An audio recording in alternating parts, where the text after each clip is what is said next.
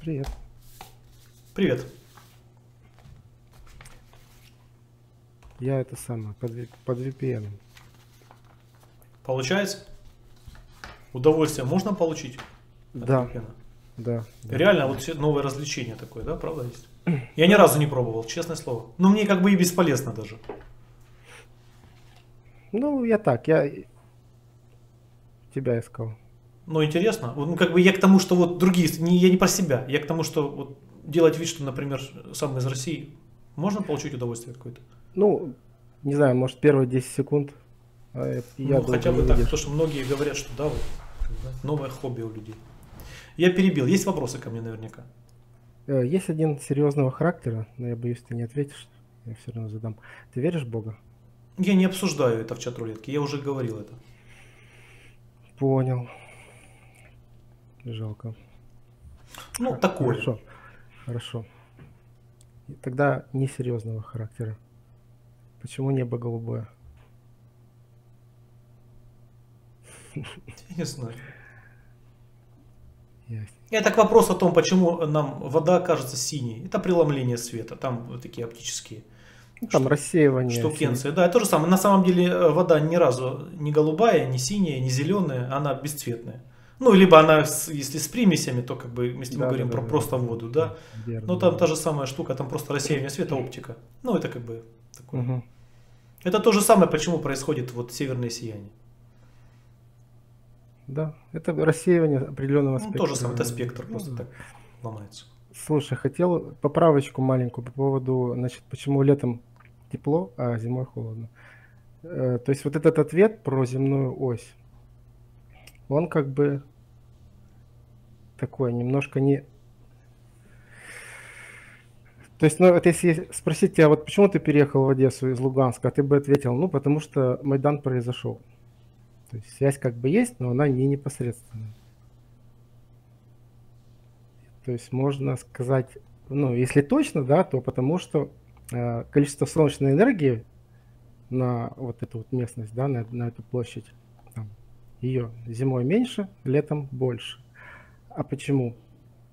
А из-за продолжительности светового дня. А уже продолжительность светового дня, в свою очередь, от наклона. Это вообще не важно. Суть, знаешь, суть я этого тебе скажу. вопроса не в том, чтобы найти человека, который даст правильный ответ. И многие это... ну, Можно найти любой другой вопрос, любой другой вопрос. Я раньше всех мучил тем, чем, собственно, кошка от собаки отличается. Это был мой, мой коронный вопрос очень много лет. Всегда. На этом Я недавно- вопросе да, сыпятся люди, которые не могут выстраивать никаких вообще в голове рассуждений. Тут же срабатывает у него щелк, и он либо отключился, либо наоборот включился, потому что вопрос-то интересный. Да, Если да, человек да. не помнит, он начинает размышлять, размышлять вслух. У него глаза загораются и начинает работать вот там, вот там. Да. Количество света, количество энергии, наклон оси, ближе к Солнцу, дальше от Солнца. Вообще в целом там э, какие-то, насколько наклонена ось. Если бы она была наклонена еще бы больше. А если бы мы чаще бы вращались вокруг своей оси. Да, да, понятно. Это же интересно. И тогда человек начинает рассуждать, и это такой как бы, ну, как лакмусовая бумажка.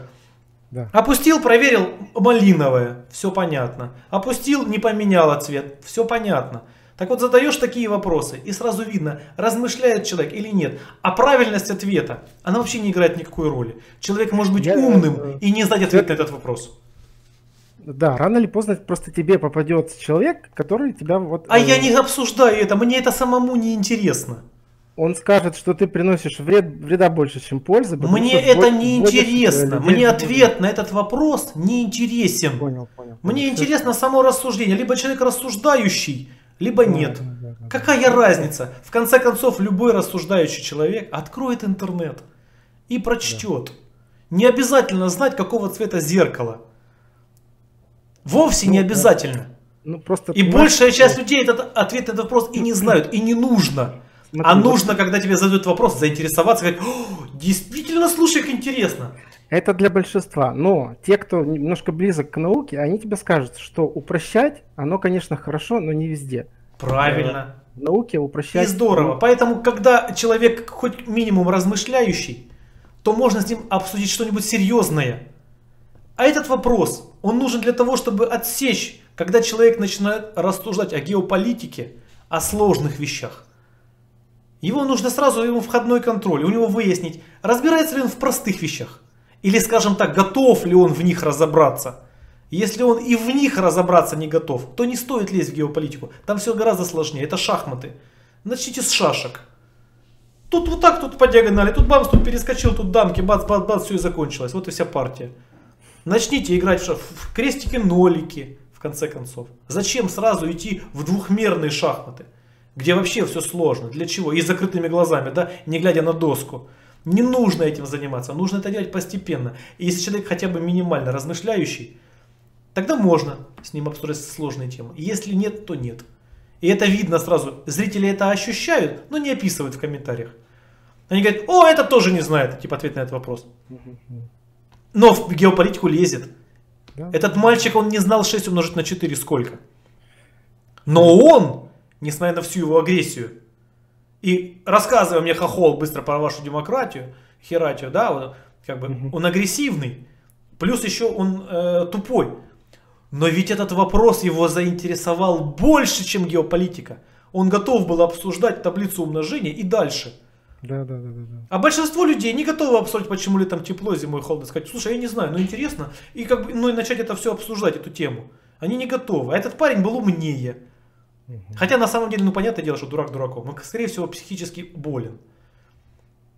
Были Соросовские олимпиады, э, математические. Угу. И на одной олимпиаде э, безоговорочную победу получил мальчик, школьная олимпиада, который не ответил ни на один вопрос правильно. Вообще. Угу. Не дал ни одного ответа. Вот там, там 12 заданий, например. И он не решил ни одно. Абсолютно совершенно. А победил, победил, победил безоговорочно. Его забрали в Америку, все, нам типа такие нужны. Там были ге- геометрические задачи. У него подход особенный был. Нет, там, там очень важно. У него были геометрические задачи, и геометрические эти задачи, естественно, решались на э, евклидовой э, геометрии. Потому что параллельные прямые в пространстве не пересекаются. Ну, это аксиома, и из этого исходит, и так далее, и так далее. Ну, и там это нужно решать. А парень вдруг поставил это под сомнение. И сказал, как бы, ну не будем рассматривать, что это аксиома, попробуем это доказать. Ну и там что-то там калякал, калякал, калякал, и как бы, ну понятно, что, что он там накалякал, школьник. Он победил. Это гений. Если он это сделал несознательно, ну, то есть, как мы сказали, там учителя, ты так вот сделай, и там победишь. Вот если это была не заготовка домашняя, а парень это сделал реально, а скорее всего, что он это сделал реально сам. Это гениально. Это Лобачевский. Потому что да, параллельные да. прямые в пространстве пересекаются. Для этого и Google, и крупные компании сейчас на собеседовании дают задачи, которые вообще не имеют решения. Но там факт тоже, как, как решает показ... человек эту задачу. Да, как он подходит вообще к ней. Есть, э, да. По-моему, Герман Титов э, был э, космонавт такой. Там была задача, я могу сейчас ошибиться, ошибиться, но, по крайней мере, у меня так в памяти отложилось. Для космонавта была задача на нестандартность мышления. Им давали листик, листик бумаги, да, и там говорят, проведите, ну, поставьте э, две точки на этом листике. Ну, самым нестандартным, ну как вы там считаете? То есть они, там не было задачи нестандартно мыслить.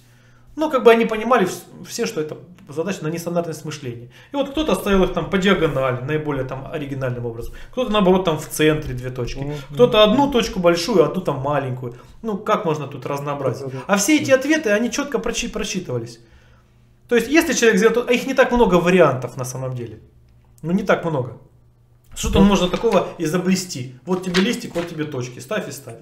Так. А он взял, поставил одну точку на одной стороне листика, а другую на другой стороне листика. А у них такого ответа не было. То есть задачи эти, они рассчитаны вот на какой-то процесс мышления, не на результат мышления, а на процесс. Потому что в процессе мышления над одной задачей можно решить кучу других задач. Нечто похожее наблюдал, мне тоже стало интересно в школе 1 сентября. Ну, дочку повел, первый класс. Там познакомились, учитель в классе, все. И, значит, э, говорит, сейчас каждый ребенок подходит к доске, а там висит такой улей большой. А у каждого ребенка пчелка есть. И она говорит, каждый подходит и клеит пчелку э, на улей. Ну, улей довольно здоровенный. Каждая, э, мальчики и девочки подошли, приклеили, ну, наверное, процентов там 98, они облепили этот улей.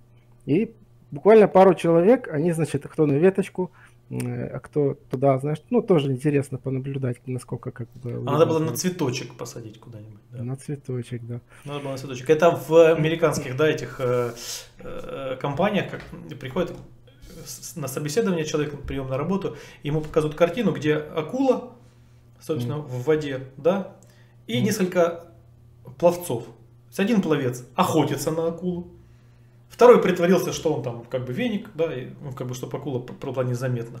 Третий просто плавает, наслаждается жизнью.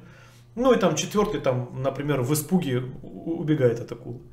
И он спрашивает, с кем вы себя ассоциируете? Ну и в зависимости от того, с кем человек там себя ассоциирует, он отвечает и отвечает почему. А ответ один, нам нужны сотрудники, которые ассоциируют себя только с акулой. Да, тоже. Говорят, вы знаете, у нас очень чистоплотная компания, вообще на самом деле, все сотрудники очень мы к этому относимся очень серьезно. У нас коврик mm. перед дверью стоит, на улице грязно. Вы вытерли ноги? Говорят, да, да, да, конечно, вытерли. Но больше, чем чистоплотность, в нашей компании ценится правдивость. У нас нет коврика перед дверью. Отлично. Поэтому эти вопросы, они нужны не для ответа, а для, как бы, для, немножко для другого. Поэтому почему летом тепло, а зимой холодно, пусть изучают. Но факт не в правильности ответа, а в том, ну, насколько это вообще, я... насколько это вообще людям интересно. Да, да, да, я понял. Насчет Бога, вот я просто, я понял, что ты не ответишь, конечно. Мне почему стало интересно, насколько далеко ты зашел в поисках э, ну, ответов. Я, аж, я э, нашел ответы на все свои вопросы. У меня больше нет вопросов. Я понял. Мне, знаешь, понравился аргумент один. Э, есть такой астрофизик э, Нил, Нил Деграсс Тайсон. Ну, может, слышал, нет? нет? Ну, популяризатор науки. Он говорит, по, ну, по поводу того, э, как вот люди образованные, ближе к науке, которые они любят нападать на более простых людей по поводу веры и религии. Насколько это глупо, да, и почему же, как же так? Ну, там, популяризаторы особенно любят, значит, эту тему елозить. Он говорит, вот, говорит, было исследование. Но оно действительно было. Э, вопрос простой, верите ли вы в Бога? И спрашивали у разных, ну, как бы классов. То есть э, обычный человек без образования, потом там, э, сред... ну, в Штатах у них как идет? Ну, там уровень образования есть, там, да, да, да, да. Да, да. да. Потом, значит, там Гарвард, и, ну, университеты хорошие, престижные. И самый топ, это, значит, у них Академия наук. США. То есть там ну, вообще самые топ ученые, да, самые лучшие собраны. И по процентному соотношению оно примерно так вот, ну, то есть самые простые люди верили, скажут, 80% ответов, да, верим, там 60, 40. И вот у ученых в Национальной, Национальной академии наук 7% верующих в Бога. И он сказал, пока там не будет ноль, вот туда, пожалуйста, претензии свои полностью уберите. Здесь такая штука, что этот путь проходят люди, в основном, если они хоть минимально размышляющие, хоть минимально вообще. Они этот путь проходят. Они ищут ответы на свои вопросы. Можно это назвать э, поиском Бога, можно назвать это просто там философски. Да? Человек задает себе вопросы, он понимает, как устроен этот мир, и ищет на них ответы. Я нашел ответы на эти вопросы. Но это такой путь, который э, подходит и касается только меня, и его невозможно пройти другому человеку. У каждого свой этот путь. У кого-то длинный, у кого-то короче, у кого-то сложнее, тернистый, а у кого-то вообще простой. Поэтому тут такое, это не, это не подходит. Все знают, как варить э, правильно пельмени, как их сделать, как их слепить, да? Столько-то грамм муки, столько-то грамм соли, сахара, мясо вот так, тут вот так свернули, варить 10 минут, достать, все, откинуть и, собственно, масличком. И все это могут сделать по рецепту. Четкий рецепт. А рецепт в нахождении ответов на свои вопросы, на самые жизненно важные вопросы, нет. Это то же самое, как воспитывать детей. Никто не знает, как их воспитывать. Никто. Тот, кто воспитал троих детей, не может дать совет тому, кто воспитывает одного ребенка. Потому что дети все разные, и советов этих нет. Это не пирожки жарить и не пельмени варить. А ты знаешь как? Ты вот возьми вот так ему скажи, или дай ему так вот, и все. Говорит, ну с твоим ребенком это работает, а с моим нет. У меня дети все разные. Не работает, то, что работает с одним, не работает с другим. Это нет, в этом нет рецепта. Поэтому эти вопросы, они сложны. И мне кажется, их в блогах, не в личных беседах, в жизни.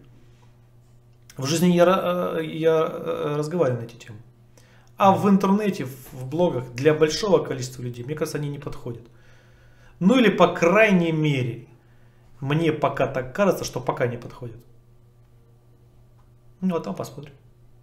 Окей, не буду тебя задерживать. Спасибо. Спасибо. Пока. Пока.